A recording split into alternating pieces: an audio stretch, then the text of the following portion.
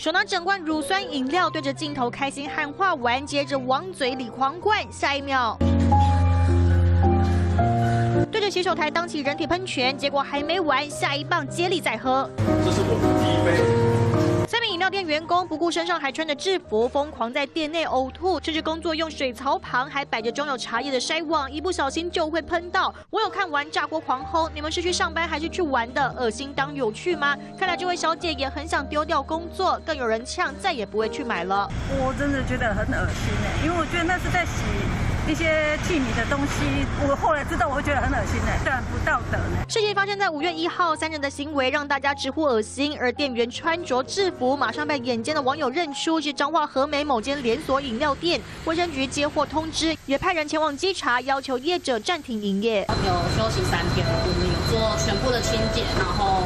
员工也做一些训练。饮料店总公司赶紧发声明，为分店不当行为道歉，并对这家分店严厉惩处，承诺加强各分店管理教育。但这回店员喝乳酸饮料恶告，看在医师眼里可不是好行为。即使吐出来呢，其实在这个联合这个胃酸造成这个食道的一个刺激，还有这个贲门的紧急的一个收缩，造成一个撕裂伤。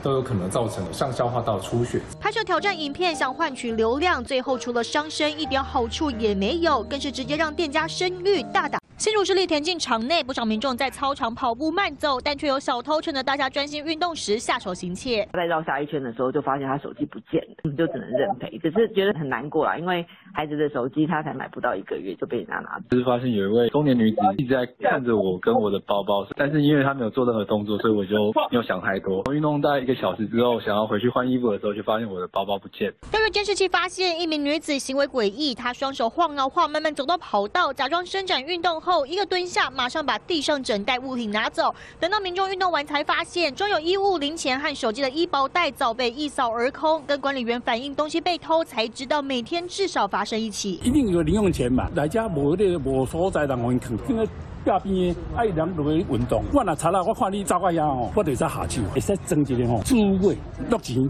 十块哦，哎，收起这个，按按对在红红记设个置物箱啊。我觉得可以，因为有些人还是会多少会担心手机什么钱包。新竹市府四年前拆除围墙，把田径场改成开放式场域，却成为小偷热点。警方逮到五十四岁李姓女子，发现她看准田径场没围墙，偷东西方便，常常报道。偷完后还把不要的东西丢到衣物回收箱。共计作案三起，已巡线查缉到案。全案依刑法窃盗罪嫌，已请台湾新竹地方检察署侦办。开放式田径场本来要让民众方便运动，没想到反而有人动歪脑筋。警方除了加强巡逻，也呼吁民众运动时别带贵重物品。记者。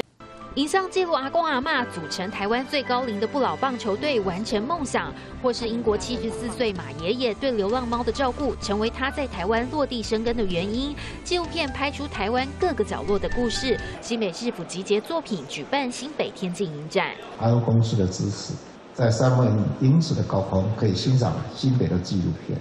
翱翔天空的过程当中，享受另外一个人生。与航空公司合作，邀请简曼书担任活动大使，将十二部作品分为四个档期，在航空公司全线机上上架，让乘客不分国界都能看到。对，新北市每年提供纪录片补助三十五万，最重要的是每一片影片拍出来，真的都是让我非常非常惊艳。充满了对台湾这一块土地的热情。新北天际影展迈入第三年，获奖作品飞上云端，让世界看见外。市府大厅也举办展览，行动支持纪实影像产业的发展，推升台湾纪录片的影响力。记者倪世刚和你新北报道。深夜时间，轿车停在豆浆店附近，女驾驶走下车要买宵夜，走到车尾处，突然遭到后方一辆轿车高速追撞，女驾驶当场腾空后再重摔落地，重伤奄奄一息。肇事驾驶人没有下车，头也不回的加速逃逸。救护人员赶到车祸地点，发现女驾驶伤势严重，已经当场没有呼吸、心跳，头部、胸部重创，双腿骨折，送医急救还是宣告不治。患者无意识、无呼吸、无脉搏，然后右大腿有一个大面积的开放性伤口。这起死亡车祸发生在嘉义市民生南路，女驾驶深夜十一点多外出帮家人和自己买宵夜，却被追撞惨死。警方获报，两小时内逮捕肇事驾驶人，何等烂醉就厕纸钞票。标。名驾驶是否涉嫌酒驾肇事情事，依报请嘉义地检署检察官侦办中。女驾驶深夜买宵夜，车停路边却被撞死，家属接到噩耗，心痛完全无法接受。检警也将调查肇事驾驶是车祸前还是之后喝酒，厘清是否涉及酒驾。记者侯文王书红嘉义报道。